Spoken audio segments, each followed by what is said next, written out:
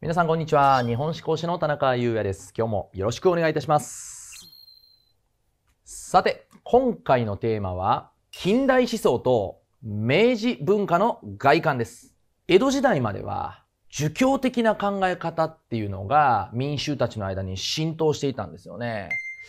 儒教的な考え方っていうとね、君臣不死の別をわきまえる、ビシッとしたこの上下の秩序っていうものを大切にするとか、こういう考え方が一般的には武士たちの間にね、定着していたわけなんですよ。ところがですね、今からこの欧米と接触することによって、新しい欧米の思想っていうのが入ってくるんですよ。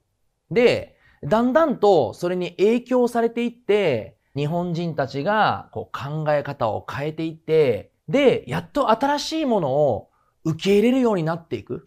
そして、近代国家として成長していくっていう、こういう流れをね、見ていきたいと思います。え皆さんもね、自分の凝り固まった考え方なんか払拭して、で、新しいものを取り入れていったら、成績なんてものはどんどん伸びていきますので、そういう気持ちでね、聞いてください。では、早速見ていきましょう。では、まず、明治文化を外観してみます。明治時代は1868年から1912年まで45年間あります。この明治文化を一つの時期として捉えてはいけません。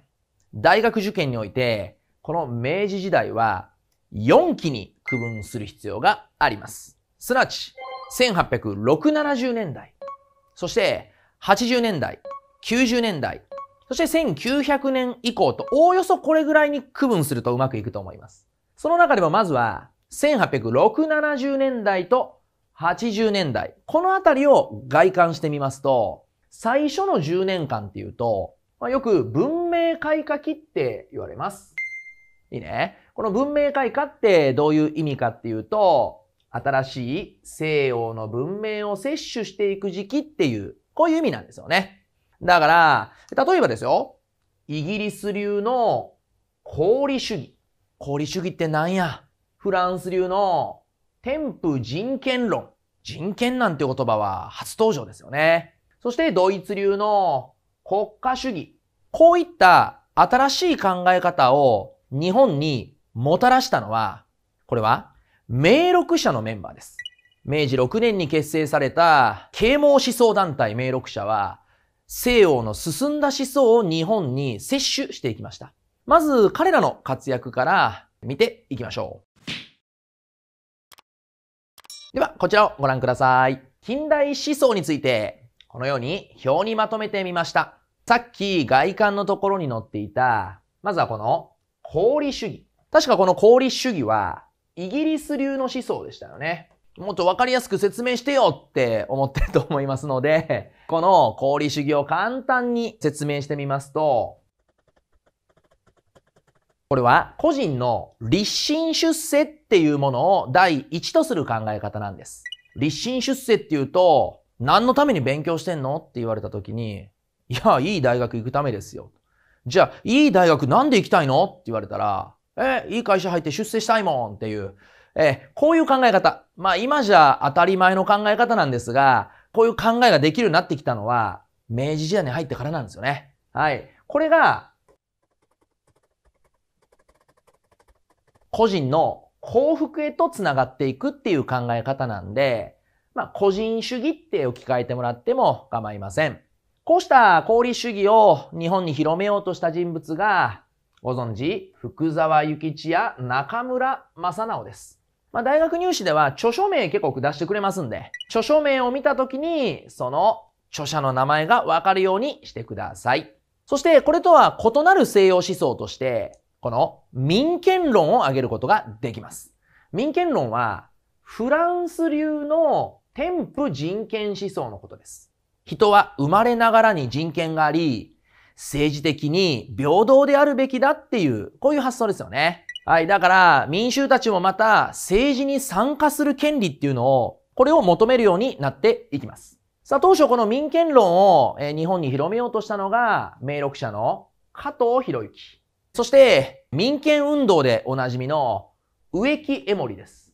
こんな感じで人物名を整理できるようにしておいてください。功利主義と民権論ですよ。いいですね。はい。では、18670年代の主な近代思想はこんなところです。では、次行ってみましょう。はい。それでは、1880年代に入っていきます。80年代っていうと、民権運動が高揚していく時期ですよね。で、80年代の末頃になってくると、明治憲法がようやく制定されるので、まあ、言い方を変えると、立憲国家の形成期ということもできます。あと、ここにね、もう一個追加するとするならば、外交面を追加しておきましょう。まあね、僕たちはもうすでに日清戦争や日露戦争を終えてますので、80年代といえば、やはり80年代前半の、この朝鮮情勢への介入を挙げることができるんじゃないでしょうか。例えば人語事変とか、更新事変とかに日本はどんどんと介入していこうとするわけです。えまた、80年代というと、反発政府が請求な欧化主義というのを進めていきます。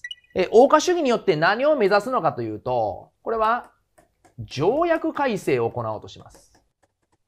さあ、こうした朝鮮半島への介入や条約改正っていうのは、次第に民権論から、この国権論へと人々が考えを転換させていくきっかけとなっていきました。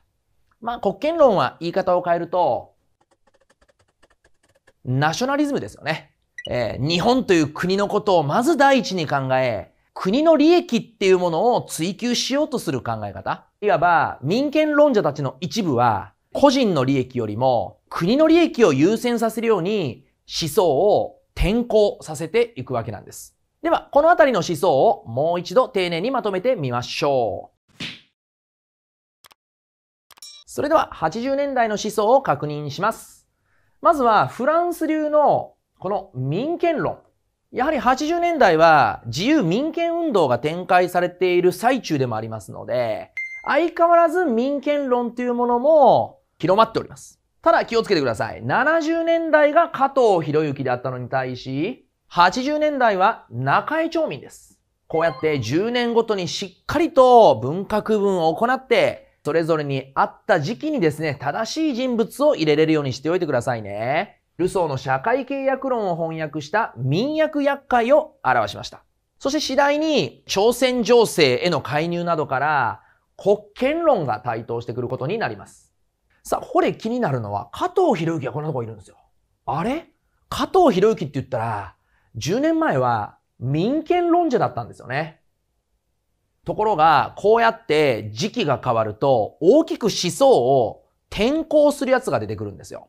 同様に、福沢諭吉も、立身出世個人の幸福っていう功利主義だったにもかかわらず、彼もまた80年代に入ると、こうやって、国権論を唱えるようになってきます。このあたりの思想の変化のところも丁寧に押さえてください。さあ、80年代はさらに後半に入ると、このナショナリズムっていうところをもう少し細かく見ていかないといけません。そちら見ていきましょう。それではこちらをご覧ください。80年代の後半なんで、86年頃から89年のこのあたりをイメージしてくださいね。さあ、この平民的欧化主義っていうのは一体何なのかっていうと、これはですね、結局のところ、反発政府が進めてることに対する反発から生じたものなんですよ。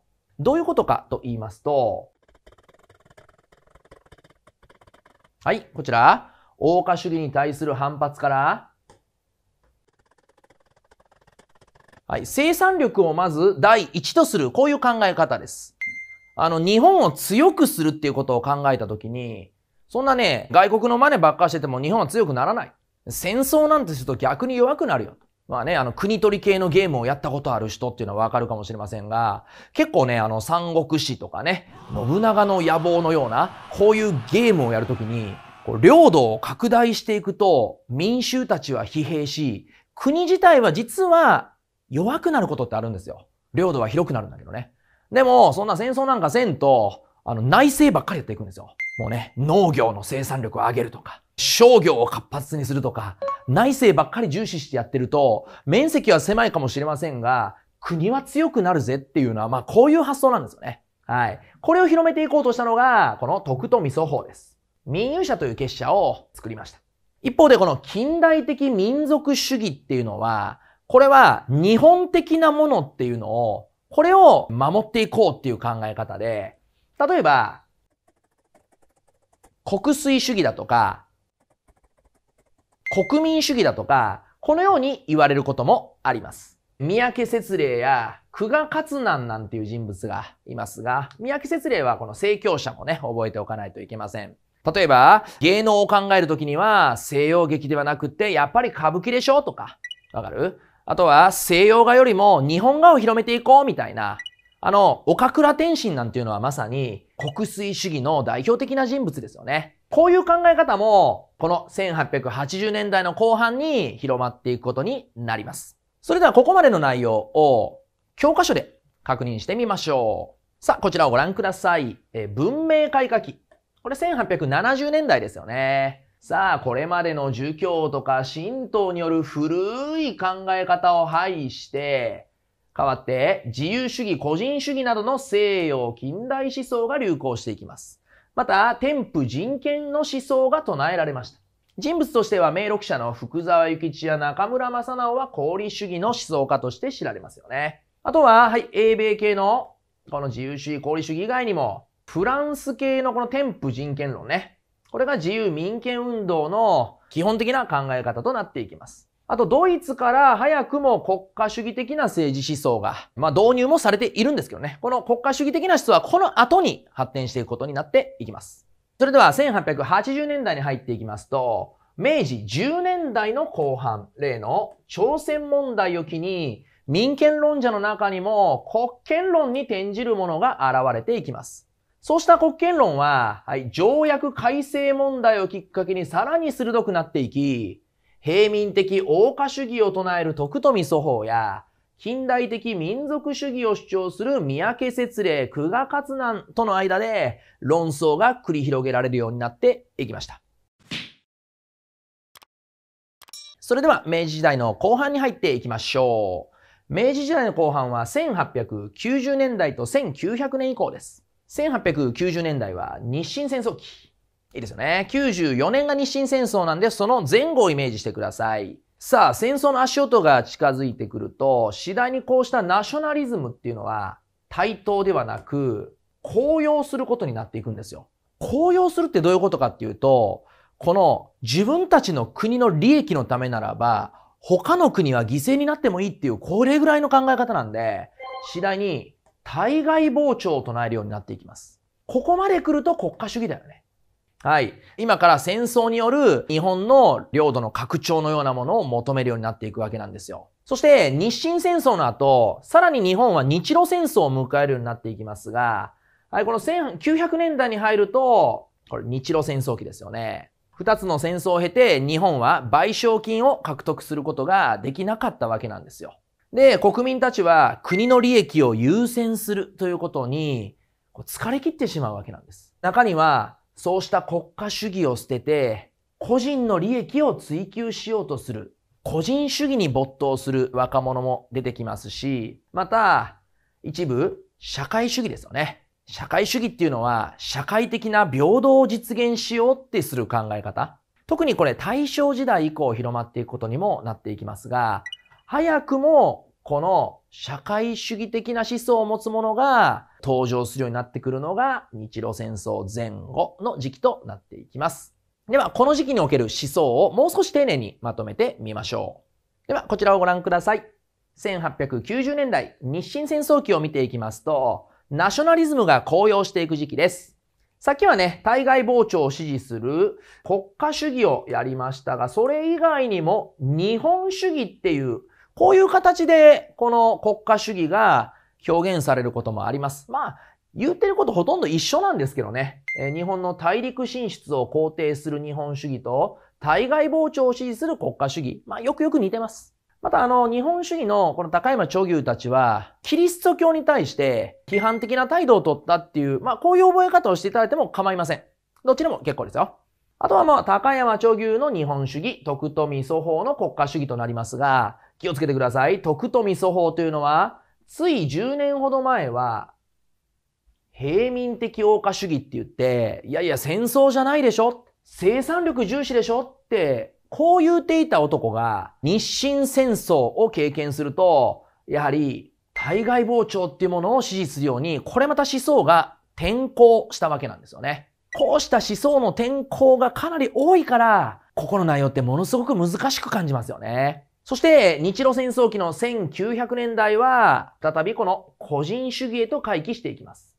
こうした個人主義へ回帰する動きに対して、これ第二次桂太郎内閣の時に、母親証書が出されまして、国民道徳を強化する。こういう政府の動きも見逃せません。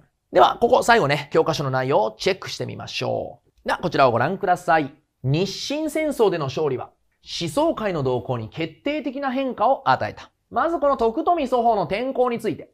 はい、対外傍聴論に転じております。また、高山著牛も雑誌太陽で日本主義を唱えました。そして日本の大陸進出を肯定したわけです。